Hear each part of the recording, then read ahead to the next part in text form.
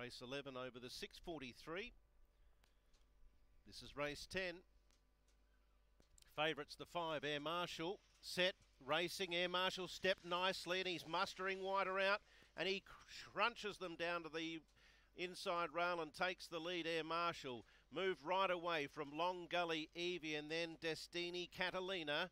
Followed further back at the head of the others by Long Gully, Bella, Sneaky Option and Willow Rose. But Air Marshal's about six clear. Long Gully Evie starting to bridge the margin and then Destini Catalina coming to the corner and the leader starting to tire Air Marshal and Long Gully Evie straight through underneath to win.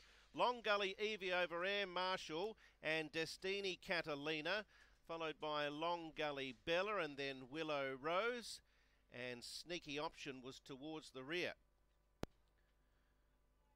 Long Gully Evie, too strong in the end for Air Marshal and Destini Catalina.